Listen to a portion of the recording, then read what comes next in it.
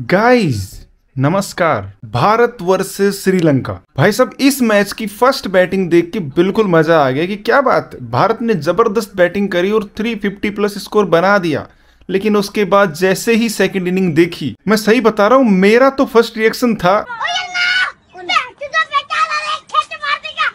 मतलब स्टार्टिंग में तो पता ही नहीं लग रहा था कि ये क्रिकेट मैच है फुटबॉल मैच है। मतलब भारत के बल्लेबाजों ने जो 350 प्लस स्कोर बनाया, जो बैटिंग परफॉर्मेंस दिखाई, उसको बिल्कुल फीका बना दिया भारत के बॉलरों ने। मतलब श्रीलंका के बल्लेबाज आ रहे हैं और जा रहे हैं। एक के बाद एक विकेट गिरता ही गया। भारत का जो भी बॉलर आ रहा है विकेट ले रहा है। अगर मैं करंट अभी हाल फ़िलहाल का स्कोर बताऊँ तो भाई साहब 37 रनों पे आठ विकेट गिर चुके हैं। और चेज करना है 358 यानी तीन सौ अट्ठावन रन। श्रीलंका की ऐसी हालत देखे आज भाई साहब रावण भी बहुत दुखी होगा। मतलब रावण भी ऊपर बैठ के सोच रहा होगा कि यार मैं तो सोने की नगरी में रहता था और बहुत महान था।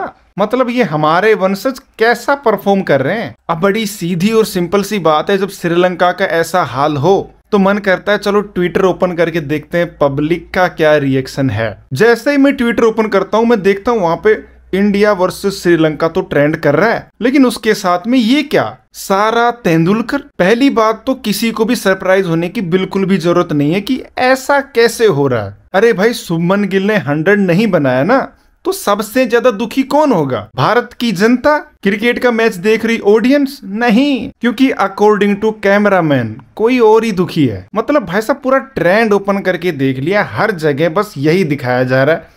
सुमन गिल ने चौका मारा तो कैमरा जाके एक जगह टिक जाता है। और ऐसा नहीं है कि ये पहली बार हो रहा है। भारत की क्रिकेट के इतिहास में ऐसा ही होता है। तुम्हें क्या लगता है, क्रिकेट मैच आज की डेट में काफ़ी हद तक बदल चुका है? अगर आप टीवी के ऊपर क्रिकेट मैच देख रहे हो, इसका मतलब ये नहीं है कि आपको खिलाड़ी दिखेंगे और उनकी परफॉर्मेंस दिखेगी और उसके बाद में पब्लिक का सेलिब्रेशन दिखेगा। नहीं, पब्लिक का सेलिब्रेशन तो एक या दो बार दिखाया जाता है। अदरवाइज़ सिर्फ़ खिलाड़ियों को दिखाया जाएगा कि देखो, इसने मारा चौका। और उसके बाद उस खिलाड़ी का अपना। अगर शादीशुदा है तो उसकी बीवी, और अगर नहीं है तो किसी ना किसी को तो जनता ने अपना बना ही दिया होगा। बस पूरे मैच के दौरान यही दिखाया जाता है। मतलब बड़ी अजीब सी बात है यार, क्रिकेटर ने, आपके फेवरेट क्रिकेटर ने चौका या छक्का मारा है। कम से कम उस बॉल को तो दिखाओ कि वो किसके हाथ में गई है, ऑडियंस में पता नहीं किसी ने अच्छा खासा कैच ले लिया हो। और दर्शकों में काफ़ी सारे अजीबो गरीब लोग आते हैं। उनके रिएक्शन दिखा सकते हो, लेकिन नहीं, सिर्फ़ एक ही व्यक्ति का रिएक्शन दिखाया जाता है बार बार और मैं सही बता रहा हूँ, इस चीज़ के लिए इन कैमरामैनों को सजा होनी चाहिए। चलो, जो भी है, अभी अगर बात मैच की करी जाए तो भाई साहब, बैटिंग की बात नहीं होगी। भले ही भारत के सारे खिलाड़ियों ने अच्छा खासा परफॉर्मेंस किया है 350 प्लस स्कोर बना दिया, लेकिन किसी भी एक खिलाड़ी ने शतक नहीं बनाया। मतलब जो भी आए, उन्होंने अच्छा खेला। लेकिन जो सबसे खतरनाक बात रही, वो थी भारत के बॉलर मतलब यार स्कोर कार्ड तो देखो,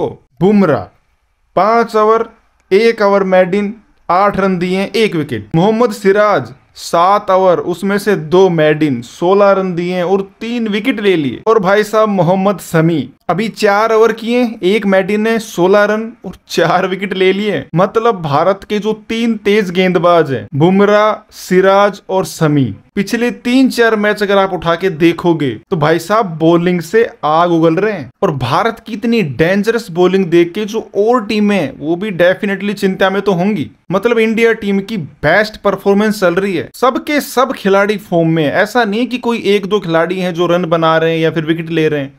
सबके सब मतलब हार्दिक पांड्या चोट की वजह से बाहर बैठा है। इसलिए समी को मौका मिला। अगर भारत के अगले मैचों की बात करी जाए तो अब तो दो ही मैच बचे हैं। उसमें से साउथ अफ्रीका वाला जो मैच है, वो थोड़ा बहुत इंटरेस्टिंग होने वाला है, क्योंकि साउथ अफ्रीका हाल फ़िलहाल अच्छी फॉर्म में है। खास तौर पे उनका ये खिलाड़ी। तो संडे का मैच डेफिनेटली देखने लायक होगा। तो भाई साहब, भारत की इतनी तगड़ी फॉर्म देख के लग रहा है कि इस बार तो वर्ल्ड कप बनता है। मतलब पूरे पूरे चांसेस हैं। अब वर्ल्ड कप आएगा कि नहीं आएगा ये तो आने वाला टाइम ही बताएगा। और हाँ। अभी हाल फ़िलहाल एक और विकेट गिर गया है। समी ने ले लिए हैं पाँच विकेट मतलब दूसरी बार पाँच wicket so so that's it thank you and bye bye